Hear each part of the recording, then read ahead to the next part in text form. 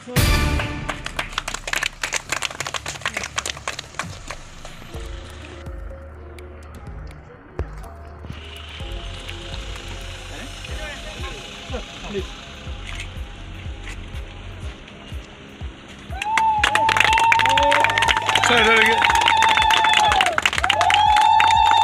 đôi này kia, 个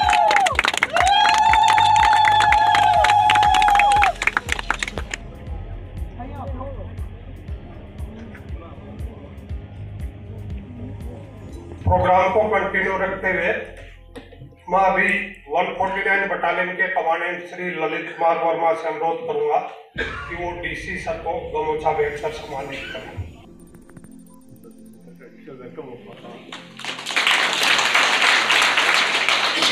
वो शहीद कार्मिक की भाभी दीपाली खोंगिया को शॉल बैठ कर सम्मानित करें। हाँ।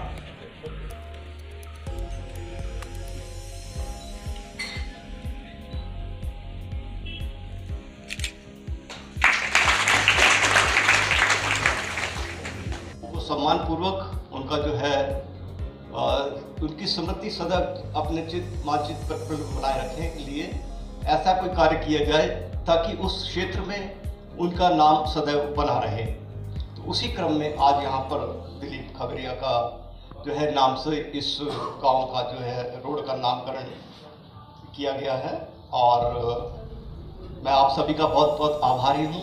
विशेष रूप से हमारे मुख्य अतिथि महोदय का जिन्होंने अपना अमूल्य समय दे करके हमारे इस कार्यक्रम में अपनी उपस्थिति दी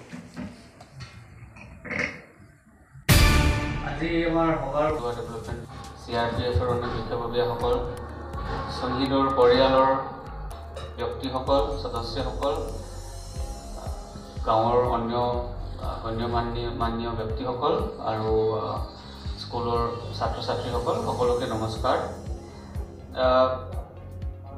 আজি মই ক'ম আমাৰ एवं ग्रामीण वासियों सर्वप्रथम मैं आप सभी का इस कार्यक्रम में स्वागत करता हूं अभिनंदन करता हूं जैसा कि आप जानते हैं आज हम यहाँ एकत्रित हुए हैं शहीद दिलीप खंगरिया की शहादत को मान्यता प्रदान करते हुए और जिन्होंने कि अपने प्राणों की आहुति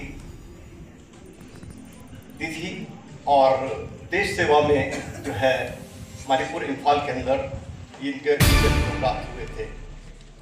24 सितंबर उन्नीस सौ सतानवे को जो है इनका शहादत दिवस है।